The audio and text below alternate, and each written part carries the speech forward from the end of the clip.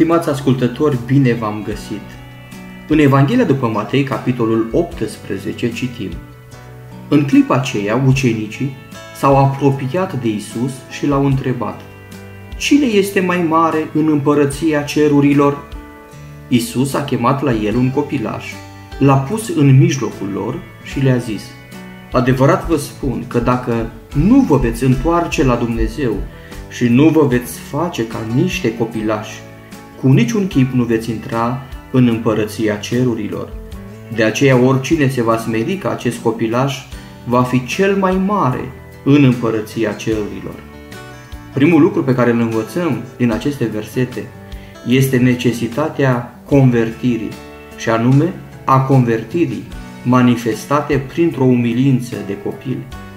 Ucenicii au venit la Domnul nostru cu întrebarea Cine este mai mare în împărăția cerurilor? Ei vorbeau ca niște oameni luminați doar pe jumătate și plini de așteptări carnale. Au primit un răspuns care să-i deștepte din visarea lor cu ochii deschiși. Un răspuns care conține un adevăr aflat chiar la baza creștinismului. Dacă nu vă veți întoarce la Dumnezeu și nu vă veți face ca niște copilași, cu niciun chip nu veți intra în împărăția cerurilor. Fie ca aceste cuvinte să pătrundă adânc în inimile noastre. Fără convertire, dragii mei, nu există mântuire. Cu toți avem nevoie de o schimbare de plină a naturii.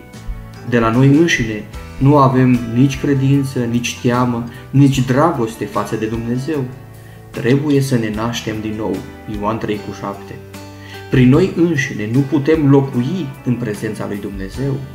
Cerul nu va fi cer pentru noi dacă nu am fi convertiți. Lucrul acesta este adevărat cu privire la toate clasele, categoriile și ordinele umanității. Toți suntem născuți în păcat și suntem copii ai mâniei și toți, fără excepție, trebuie să ne naștem din nou și să devenim făpturi noi. Trebuie să primim o inimă nouă și un duh nou. Lucrurile vechi trebuie să treacă și toate lucrurile trebuie să devină noi. Este un lucru bun să fii botezat în biserica creștină și să folosești mijloacele creștine ale Harului, dar la urma urmei, suntem noi convertiți? Vrem să știm dacă suntem cu adevărat convertiți? Vrem să știm cum ne putem testa pe noi înșine? Semnul cel mai sigur al unei convertiri adevărate este umilința.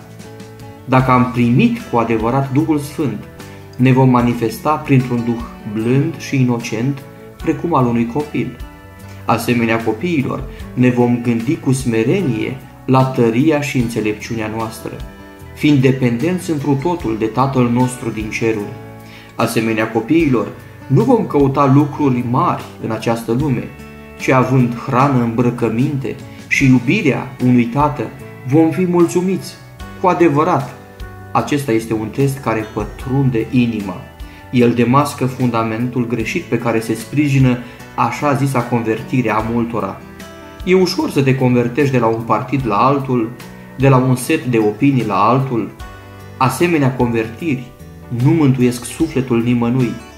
Ceea ce vrem cu toți este o convertire de la mândrie la umilință, de la gânduri înalte cu privire la noi înșine, la gânduri umile cu privire la noi înșine, de la trofie la smerenie, de la mintea fariseului la mintea vameșului. Trebuie să experimentăm o asemenea convertire de felul acesta dacă sperăm să fim mântuiți. Acestea sunt convertirile făcute de Duhul Sfânt. Amin.